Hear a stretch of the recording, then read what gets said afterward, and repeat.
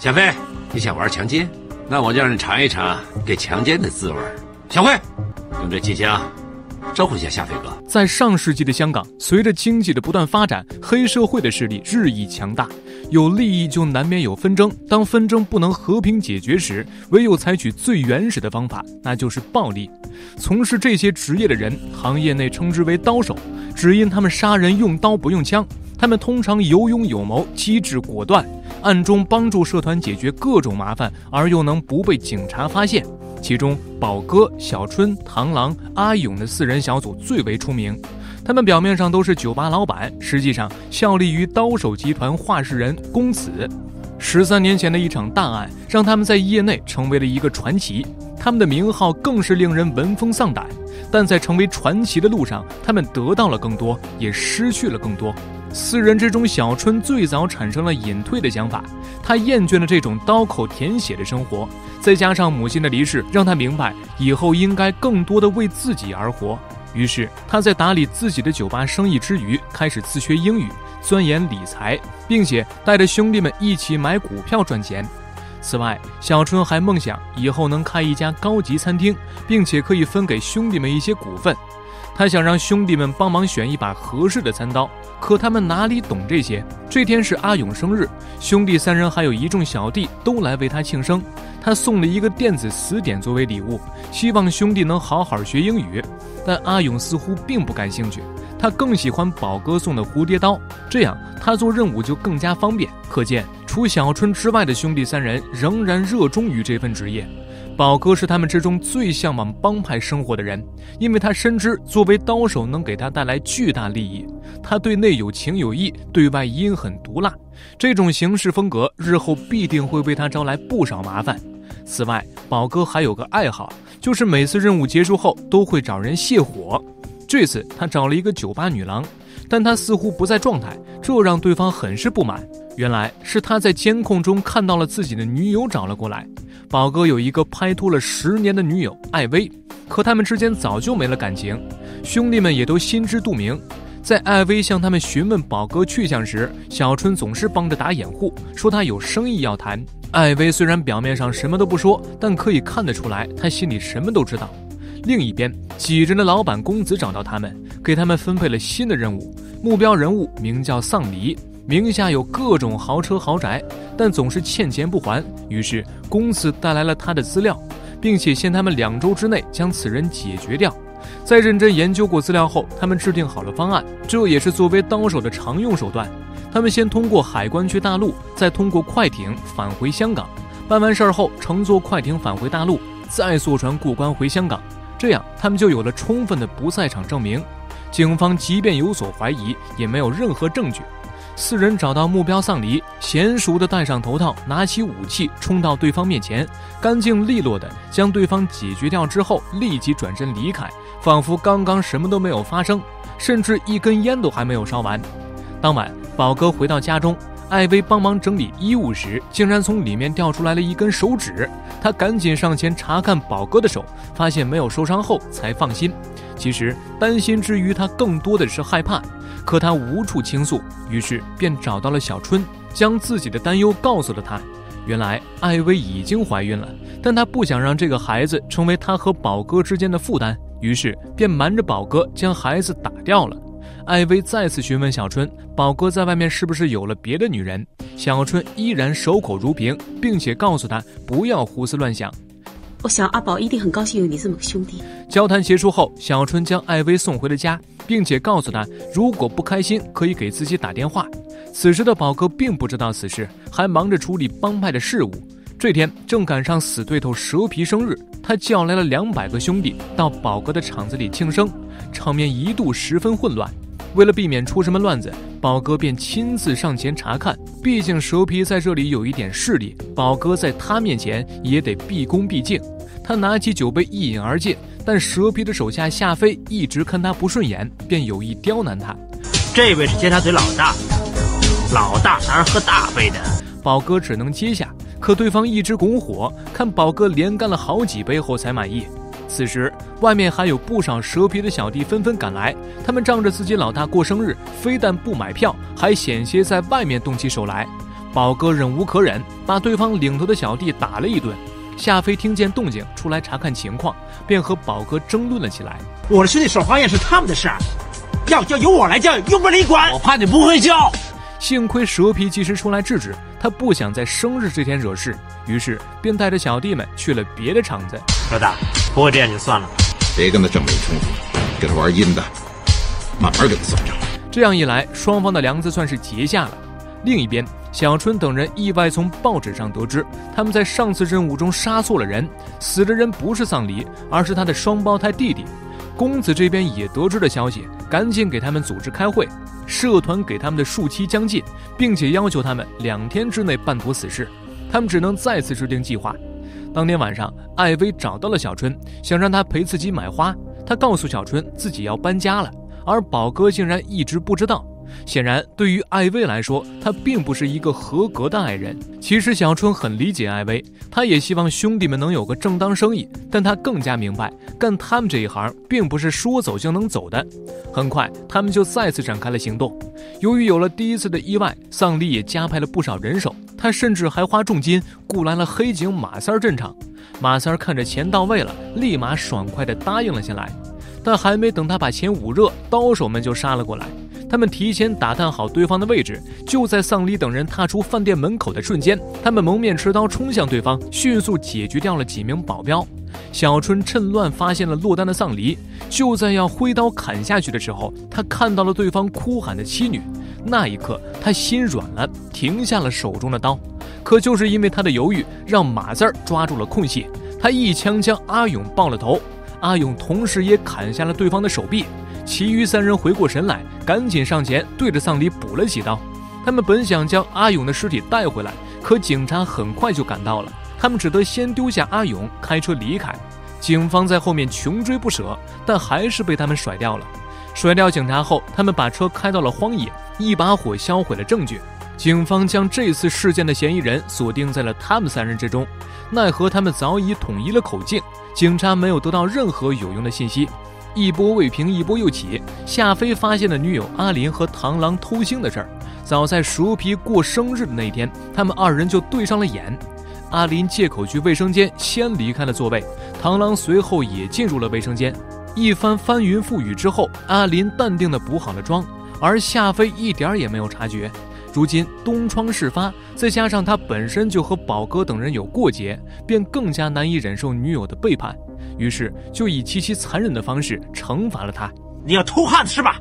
便宜外人不如便宜自己人。哎，夏飞竟然让手下对阿林实施了轮奸，还打电话通知了螳螂，要想救人就自己来。螳螂并不想麻烦兄弟们，便只身一人来到了这里。一进门就看到了满身是伤的阿林，内心又震惊又悲痛。干嘛？嫌这个女人太烂了，还不去接收？可等他刚一蹲下，我叫你去你就去啊！我的女人你怎敢碰？螳螂被对方一脚踢开，由于对方人多，他很快就被控制住了。夏飞直接对着他的要害踢了一脚。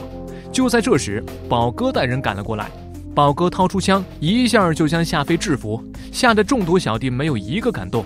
他让夏飞向螳螂和阿林道歉，如今被枪指着头，也没有什么面子可言。夏飞只得乖乖照做。一边的小弟刚要替他说话。宝哥一下就让他们闭了嘴，他可没打算就此放过对方。他让手下用气枪好好招呼了一下夏飞，玩够之后才带着阿林离开。宝哥的重情重义让螳螂很是感动，但小春却认为宝哥的做法太过火了。事情闹得这么大，夏飞必定不会善罢甘休。可宝哥根本不在乎。夏飞今天这么对付螳螂，明天就这么对付你和我。小春认为宝哥想借此上位。螳螂是他们的兄弟，为了兄弟出头，他绝不会留情。但小春却好心提醒道：“出兵和出位只差一个字。”事情的确如小春所说，这件事儿闹得满城风雨。公子也很快收到了消息，现在夏飞大肆在外面宣传螳螂勾引大嫂，蛇皮也借机表明对他们强烈不满，搞得江湖上风声很紧。公子本想让宝哥离开，暂定风头，可他根本不肯。我可不会避风头，要避风头的人是他。看来事到如今，只能跟他拼一拼了。不如直接将蛇皮干掉。公子得到消息，几天后蛇皮要开一个会，那便是动手的最好时机。兄弟三人也都做好了孤注一掷的准备。小春来到墓地，祭拜了阿勇，还将生前买的股票都交给了他父母，跟他做了最后的告别。晚上，艾薇约小春吃饭，还送给了他一对手链，说如果他以后开高级餐厅，一定用得上。小春表面上不动声色，实则开心极了。经历了这么多，小春对艾薇早已产生了一种特殊的感情，只是碍于兄弟的缘故，他不能表露心意。但其实宝哥已经知道了，他偶然间看到了艾薇记录生活的视频，里面陪伴他的竟然是小春。他们二人一起逛街买花，就像是真正的情侣一样。他并没有戳破，因为相对于女人，他更看重的是兄弟。另一边的阿林意外看到了自己被轮奸的视频，顿时羞愤难当，竟选择了从高楼一跃而下，只留下螳螂一人对着他的照片黯然神伤。终于等到了行动这天，蛇皮毕竟是一方老大，要想接近他并不容易，他们只能制定新的计划。螳螂自告奋勇说可以自己当诱饵，提前埋伏在便利店。小春拍了拍兄弟的肩膀，叮嘱他要小心，可心里却总是有一种不好的预感。当晚，他们兵分两路，将车开到指定地点，等待时机。螳螂也进入了便利店。本来一切顺利，但一个推着婴儿车的妇女引起了他们的注意，因为一个母亲不会粗鲁地将车推下台阶。环顾四周，他们突然发现周围也多了很多怪异的人。敏锐的直觉告诉他们，这些人可能是些便衣警察。对讲机也迟迟没有传来公子的指令。小春当即决定取消今晚的行动，赶紧通知接应组的人联系螳螂。但恰巧这时警察查到了他们，根本没有机会传达消息。此时埋伏好的螳螂并不知情，还是按原计划行动。等到蛇皮出现，螳螂赶紧戴好头套冲了出去，可没走几步就撞上了警察。螳螂只能奋力反抗。小春等人见状后，也赶紧拉下头套，开车前来支援。可一阵火拼过后，螳螂最终身中数枪身亡。不过他一直牢记任务，拼命砍死了蛇皮。之所以行动失败、损失惨重，是因为公子出卖了他们。原来警察将他带到了警局，并且向他施压。虽然刀手们的手法一向干净利落，但警方还是从阿勇那件事上发现了破绽。再加上有一名警察被砍断了手臂，这引起了警方的极大重视。你年纪也不小了，简单的说，我只想对付那四个刀手，而不是你。公子为了自保，只能选择背叛他们。这次行动过后，只剩下了宝哥和小春，他们这才意识到了一直以来错信了公子。不过幸亏宝哥提前留了一手，他将公子每次给他们派遣任务的过程都录了下来。因此，他让小春将光盘交给警方，打算自己去干掉夏飞。